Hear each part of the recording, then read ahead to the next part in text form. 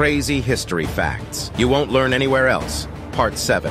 Christopher Columbus was not actually the first European to reach the Americas. The Vikings had established a settlement in Newfoundland, Canada, around 500 years before Columbus arrived. Ancient Greek and Roman statues were actually brilliantly colored and not just bare marble or stone. In the Ottoman Empire, the Sultan's wife could only eat her cucumbers chopped so that she wouldn't please herself.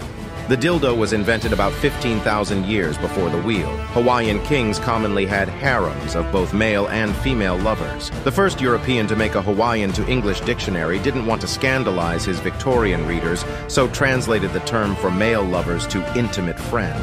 This caused some degree of confusion when missionaries arrived asking to become the intimate friends of the Hawaiian nobility.